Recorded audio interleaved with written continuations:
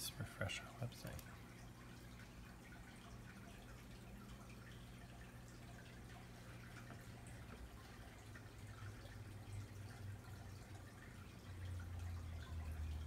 There it is. There it is, 115 days. Oi. All right. Cheers.